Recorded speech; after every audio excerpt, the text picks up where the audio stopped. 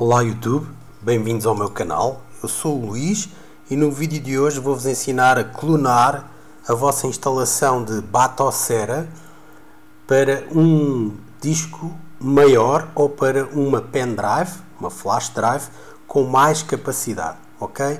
Portanto, eu tenho ali aquela pendrive de 64 GB com Batocera instalado e eu pensava que 64 GB ia ser suficiente e no instante ficou cheia.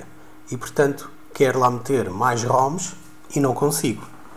Portanto, comprei esta pen uh, 128 GB e vou fazer aqui o procedimento.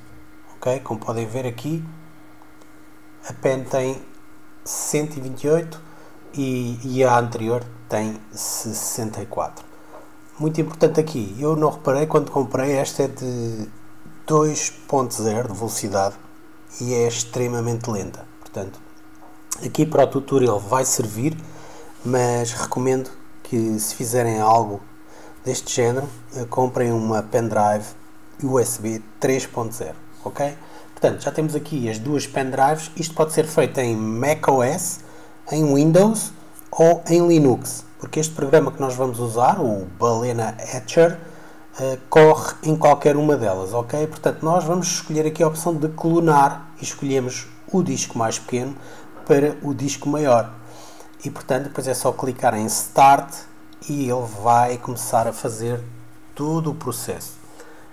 Atenção que o vídeo aqui vai estar acelerado, obviamente, com os truques de, de edição, um, mas este processo com esta pendrive demora muito tempo.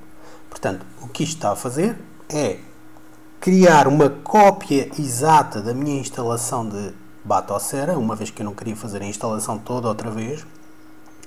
Já tenho ali aquilo bem configurado, já com as capas dos jogos, etc. E portanto ia perder outra vez muito tempo a pôr as BIOS, por essas coisas todas.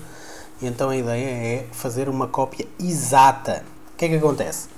Quando copiamos, quando clonamos a nossa instalação de Batocera, eu aqui neste caso já estou a dar arranque na BIOS no meu computador, portanto eu carreguei F12 neste, neste computador, que é um Lenovo, para arrancar pela pen que acabámos de clonar e como podem ver é a pen de 128 GB e já tem ali 6300 jogos, ok? O que é que acontece?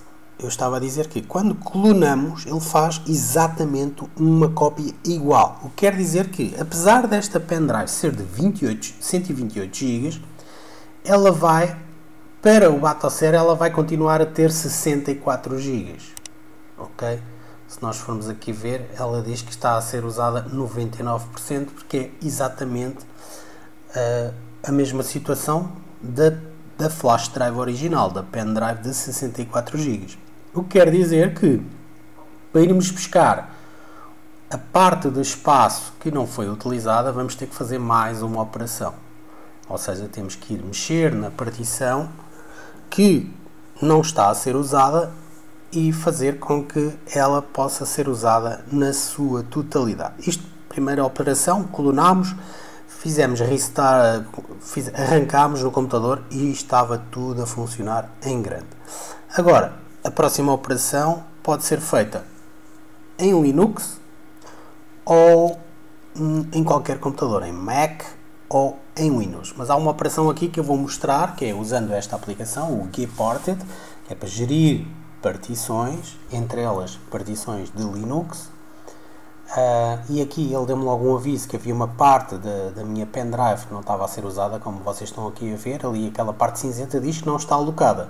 Portanto, se eu quisesse fazer a operação aqui, era simplesmente contra isto, alocar, arrastar ali aquela para o lado e dava-lhe OK, e, e o Linux ia fazer tudo sozinho. Mas não é isso que queremos fazer, porque nem toda a gente tem acesso a ter a Linux, não tem Linux instalado no computador, não tem o Gparted, e portanto o que temos que fazer é aceder aqui a um fecheiro que eu já vou abrir em qualquer editor de texto, portanto estão aqui a ver, procurar esta linha aqui e tirar o cardinal, ok? Quando tiramos o cardinal, estamos a fazer com que a próxima vez que fizermos restart, fizemos arrancar o Batocera no vosso computador, portanto eu estou a abrir outra vez o fecheiro para me certificar que efetivamente eu tirei o cardinal e gravei o fecheiro assim. Ok? Portanto, estava eu a dizer que da próxima vez que eu fizer eh, boot à flash drive do Batocera no meu computador, ele vai detectar esta linha de código que passou a estar ativa e ele próprio vai fazer esta operação de alocar o espaço da flash drive que neste momento não está a ser utilizado, portanto, e, e vai ficar pronta com todo o espaço disponível e então desta forma eu já posso colocar lá mais jogos, ok? Portanto, eu estou outra vez a dar arranque, vou escolher a minha pen da Philips, que é que contém o Battle e como estão a ver, ele agora já detectou, já está a fazer o processo sozinho, já estão ali os primeiros passos todos sucederam, ali do lado direito, a dizer sucesso, sucesso, sucesso, sucesso, e depois fica aqui a barra azul, isto demora um bocado, obviamente o vídeo aqui está acelerado, e depois do nada ele faz restart, ele apaga, a barra nem chegou ao fim.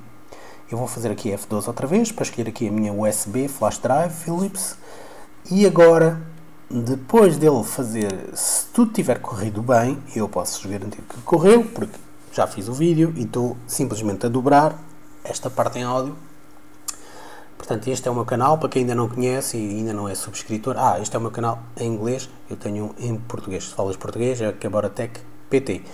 Uh, era só para dizer que tenho um vídeo sobre o Batocera, uh, sobre a instalação desde o princípio ao fim. Ok? Se queres instalar a Batocera, não sabes como é que funciona, onde é que pões as, as, as BIOS, etc.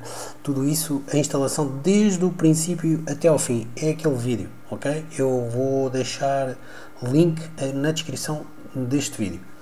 Se, se preferirem em inglês, uh, também tem outro canal, mas se, se, se, estão a ver este vídeo em português, certamente falam português e percebem melhor português. Portanto, aqui estão a ver que eu tenho todos os jogos, está tudo a funcionar perfeitamente, mas se formos ver agora o espaço que há pouco era 99% utilizado, agora vai dar que temos espaço livre. Portanto, uma vez que já fez a operação e esta flash drive de 128 GB já está a ser utilizada na totalidade e eu já vou ter espaço para meter para cá mais ROMs, mais jogos. Estão a ver? Estão ali a ver? 45% do disco usado. Tudo o resto está livre. Ok? Portanto, ótimo. Isto funciona para pendrives ou para discos rígidos. Se tiverem um disco rígido externo uh, que queiram clonar desde um de outro disco mais pequeno para um maior, este é o processo, funciona maravilha. Pá, pessoal, não se esqueçam, se gostaram do vídeo, se isto vos ajudou, deixarem o vosso like, ajuda imenso o canal e motiva-me a fazer mais vídeos. Se gostam deste tipo de vídeos de retro gaming, Uh, devo dizer que vou fazer aí mais um sobre RetroPie, uh, RetroPie não, RGB Pi, que é isto, mas em Raspberry Pi, ok? Um abraço, até ao próximo vídeo.